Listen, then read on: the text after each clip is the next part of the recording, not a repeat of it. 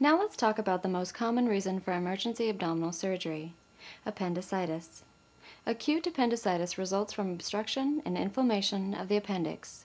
The appendix is a small, worm shaped appendage that is attached to the cecum, the portion of the large intestine that empties into the colon. The appendix is especially prone to obstruction because of its small lumen. As you examine the abdomen of a client with suspected appendicitis, you will note lower right quadrant pain. The pain seems to begin in the periumbilical area and then moves over and localizes in the right lower quadrant. You will also note rebound tenderness at McBurney's point, which is halfway between the umbilicus and the anterior iliac spine. The client may also present with an elevated temperature, an elevated white blood cell count, and nausea and vomiting. Acute appendicitis is a dangerous condition because the inflamed appendix can become gangrenous or rupture.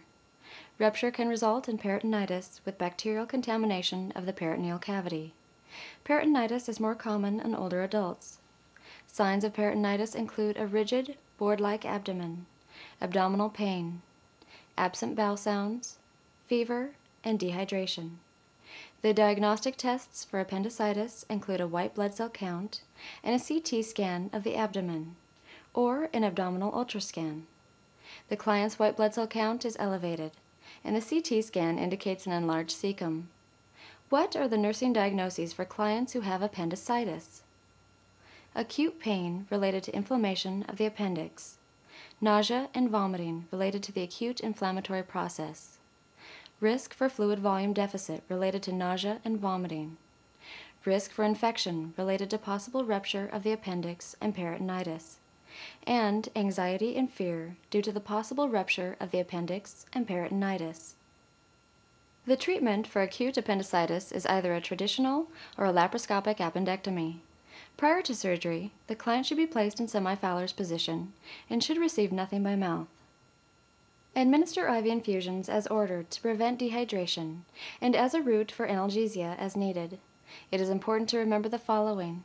Do not administer laxatives or enemas preoperatively, as these measures can cause perforation of the appendix and peritonitis, and do not apply heat to the client's abdomen, as it can worsen the inflammation. During surgery, the surgeon will remove the appendix through a small incision or by means of laparoscopy. Surgical drains will be inserted if the client has developed an abscess. If peritonitis has developed, the surgeon will insert a nasogastric tube to prevent gastric distension.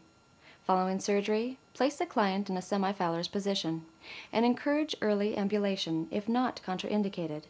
Advise the client to avoid heavy lifting for several weeks following discharge. If perforation has occurred, administer IV antibiotics as prescribed to control the peritonitis.